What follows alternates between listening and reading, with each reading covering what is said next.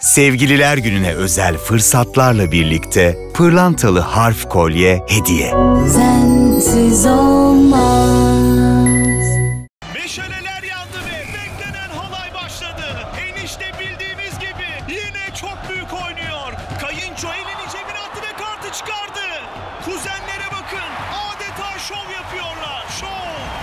Zoraki gittiğin düğünü eğlenceli hale getirmenin tek yolu Milyoner. maçın eğlencesi Bilyoner'e girdiğin an başlar. Pazartesi 20 Kayseri Spor Beşiktaş. Evet, e, Beşiktaş'ta maçın kaderi Semih Kılıçsoy'un formuyla doğru orantılı.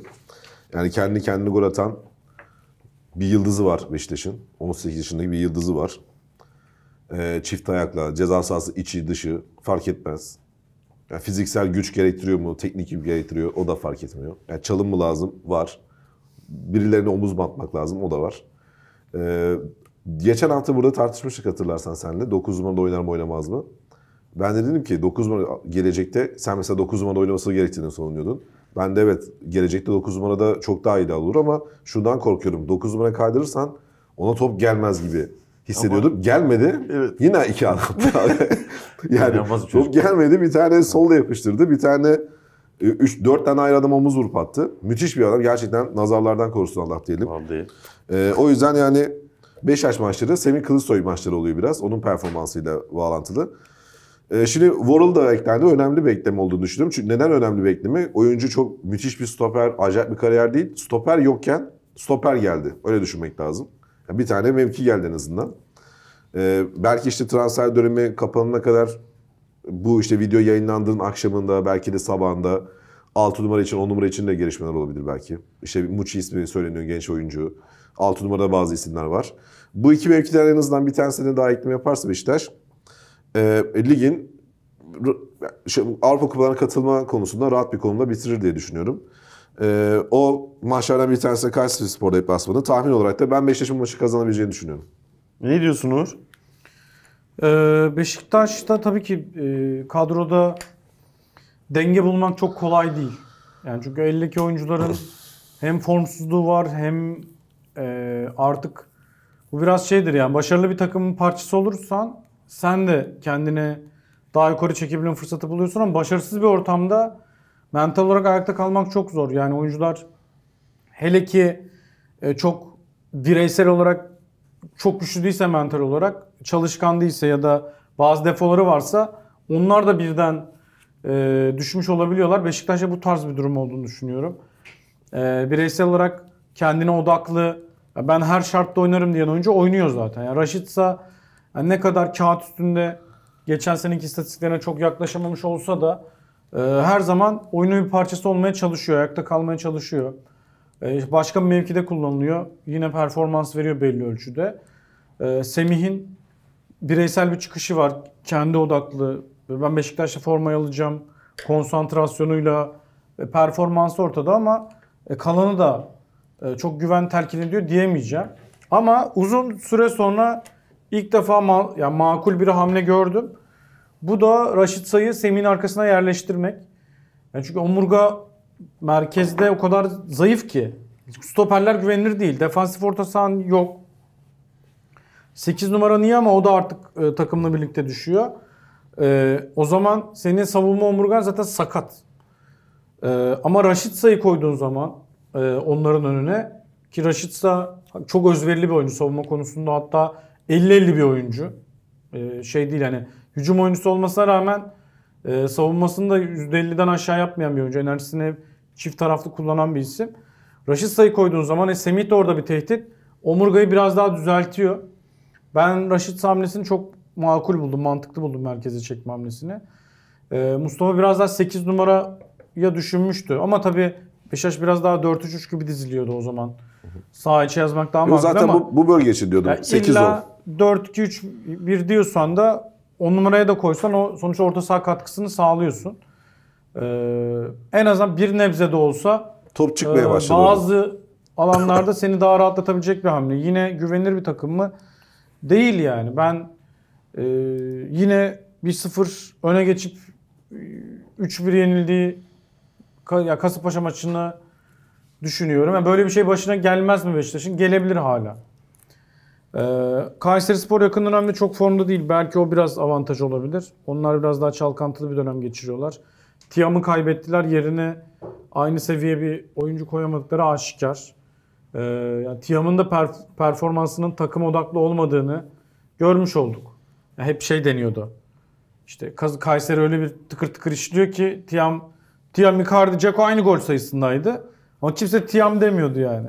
Icardi Dzeko gibi. Sanki hani bir takım temsilcisi gibi atanmış gibi davranılıyordu. E, Pendik'te de aynı performans sergiliyor ve Kayseri'de onun yokluğu çok net şekilde hissediliyor. Ben yine de Beşiktaş'a daha yakın görüyorum ama bahis açısından soruyorsan e, çok da güvenmiyorum. İlla bir tahmin yaparsam iki diyorum diyor ama kuponu da eklemem diyor. E, aynı. Tercüme için Öyle teşekkür diyor. ederim. Kaliteli bir tercüme. Bir yandan da bu arada şey Burak Yılmaz rakip. Sergen Yalçın Burak Yılmaz diye gidiyor. Oo enteresan evet Evet. doğru söylüyorsun. Evet. Doğru hiç düşünmemiştim. Peki sana bir soru. Kayseri Beşiktaş maçında Kayseri Spor galibiyeti sürpriz midir değil midir? Ha, o güzel Çok yerden güzel geldi. soru. Tebrik ediyorum. Sana göre Diyecek ki 3-0 açık ara geçecek. değil yani. Çünkü yazamıyoruz. yazamıyoruz değil sınırdan da değil ha. Neyse, oyun, oyun 3-0-5. bölümünde bunu konuşalım. Geliyor yaklaşıyor. Trabzonspor Hatayspor pazartesi 17. KG var. Trabzonspor bahis oyna yani taraf oynamam ben. En azından bir kadro kadar. Ben, ben yayın başlamadan dedim. Yani Trabzonspor'un kazanacağını geleceğe dönüşten mesela derse kitapçık görsem yine oynamayabilirim.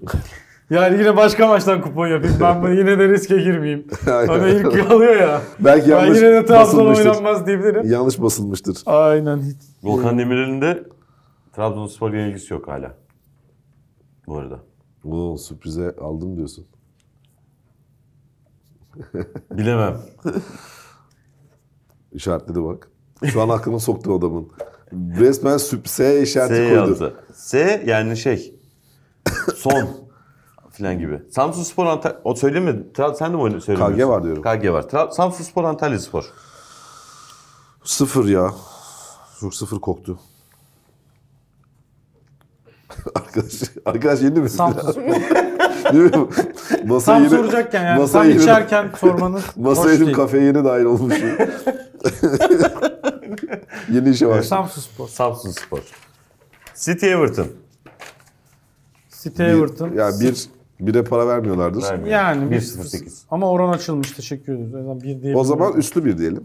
Öyle yapalım o zaman. düz- Öyle Gerçi diyelim. o da riskli ya. Girmeyin. Everton şimdi pis kapanır falan. Değil Belli olmaz. Evet. Liverpool Burnley. Liverpool oran yok. O zaman buna üst bir diyeyim. Madem öyle. Sen de mi öyle Oran diyorsun? yarattı. ben direkt üst diyorum. Direkt üst diyor. Güzel. 1.17. Cumartesi 18. Tottenham Brighton. KG var. Yani evet. KG var iyi. Bir diyecektim de çok içimden gelmedi. Gayet güzel. West Ham Arsenal. Pazar 17. Oo. Arsenal. Ben buna ne diyorum biliyor musun? Alt diyorum. Aa, 1.98'den denerim. Denenir diyor. Areola diyorum. Aston hiç clean alamadık kralım valla. Villa Göremedik. United. Bir göremedik. Gerekteyken aldık. Delirtti Bana bizi. faydası olmayan kalecinin klişi sheet'ini göremedik. göremedik. Göremedik diyor. Pazar 19.30 Aston Villa United. Güzel. Bu çok oturdu Aston ama. Villa. Aston Villa mı? Aston Oo. Zaten favori. Bu oluyorsun da United mı kaldı hocam? Ama United o kadar Adama pendik değil göz artık. 3 KG şey sürpriz değil diyor. Aston Villa diyorum 1.90 o çekiyor. Bu adamın sürpriz anlayışında sıkıntı var. Abi. Evet benim sürpriz anlayışım sürpriz olması abi. KG var. KG var diyor. Güzel. Crystal Palace Chelsea pazartesi 23. Bu iki ya kırsı paslı adam kalmadı. Evet gitti. Ya Chelsea de kötü ama bir moral buldular. Aston Villa'yı yendi bu arada. Kupada enteresan bir skor. Deplasman 3 attı. Tam kadro Aston Villa'ya. Başkan hocaya mesaj atmış. Bir Hocam şey iyi olmuş. gidiyorsun. Soy, soyunma odasına demiş. girilmiş. Evet Pochettino'ya mesaj atmışlar. Hoca açıkladı falan. Bir güven oyu.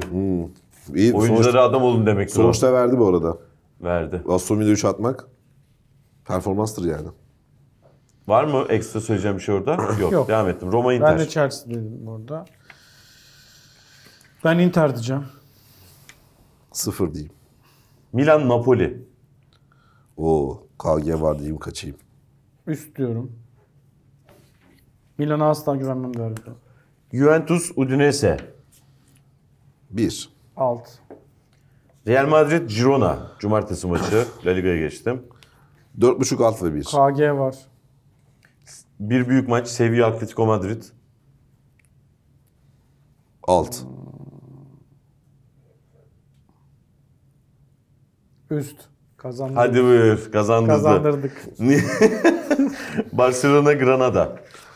Girilmez bu orana. Yani. Almanya'ya geçtim. Dortmund Freiburg. Bundesliga hepsini seç. Üst. Üste geç diyorsun. Evet. Ama Kontrol- biraz sonra Kanka, oyun bölümünde Dortmund'u göreceğiz. üstleyip geçmesen daha Kontra, mantıklı. kontrada. Aynen. Doğru. Onu ben yaptım. Le- müthiş bir Dortmund maç. diyordum. Oo, Cumartesi 20.30 Bayer Leverkusen Bayern Münih. Yayındayız be. Yayında olmasam affetmezdim bu maçı. Ya. Yayındaydık. Yayındaydık. Yayındaydık Adnan. Bayern Münih. Bayern Münih. Bayern Münih ya. Çünkü bu o kadar karalıcı bir maç ki bu şampiyonluk maçı. Of çok iyi maç ya. Ee, Leverkusen kazanırsa bu iş biter. O yüzden Bayern Münih karar alıcı günlerde e, genelde rakiplerini 4-4 atıp yenerek şampiyon oluyorlar. Böyle çok istisnalar hariç. Cekol Wolfsburg falan hariç. Onun için de 15 yıl geriye gitmek gerekiyor. Ee, ben Dortmundlu Klopp da. her şeye rağmen Bayern Münih diyeceğim ve Bayern Münih'e oynayıp 2-19 kazanmanın keyfini yaşayacağım. Vallahi Leverkusen şakası yok Leverkusen'in. Ben, Leverkusen kazanırsa sevinirim bu arada. ben buna KG var derim arkama yaslanırım maçı izlerim. Ha güzel. Keyfi seçti. Hedonizm böyle bir şey işte. Xabi Alonso Hedonist- Liverpool. Futurama diye bir çiz- şey var, çizgi film. Hani orada Hedonist tahminleri. Hedon- hedonist, hedonist bot var, robot. Robot böyle üzüm yiyor. Bu arada şöyle bir şey var. Xabi Alonso bu, bu maçı kazandığı anda Liverpool imzası gibi bir şey biliyorsunuz. gibi doğru. Yani imza atıyor şu anda böyle. Devam ettim. İmza atıyor. Paris Saint. Germain Lille. Fransa Ligi'ni oynuyor muyuz? bir. Gerçi Paris Saint doğru yolu Germain'de. buluyordu. Neyse ben de bir diyeyim. Bir iyidir ya. Aynen. Nice, nice Monaco. Ya geç ya. Sıfır diyelim sıfır. Sıfır dedi. Hadi Güzel. alt dedim alt. O zaman oyun bölümüne geçiyoruz arkadaşlar. Katılımlarınızı bekliyoruz. Bir sonraki bölümde görüşürüz. Meşaleler